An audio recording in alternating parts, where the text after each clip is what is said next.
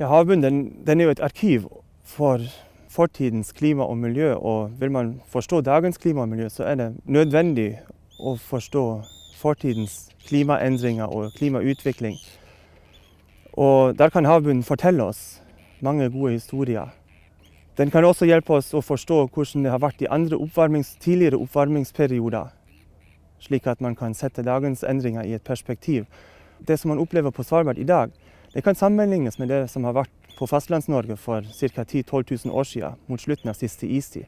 Så hvis man da vil forstå avledninger i fjorder eller på land i Fastlands-Norge, så er det nyttig eller en fordel å kjenne til prosesser som man kan studere på Svalbard i dag. Det er mange åpne spørsmål, og spesielt veldig hurtige endringer er fortsatt lite forstått.